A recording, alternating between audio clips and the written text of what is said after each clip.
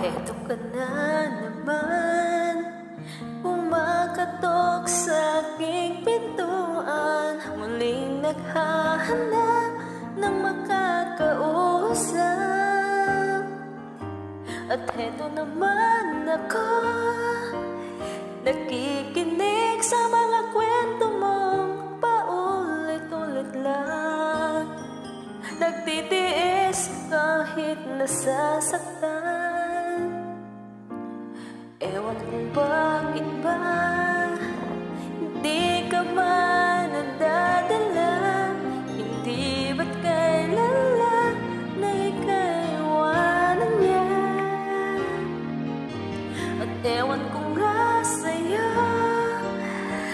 ng baliwala.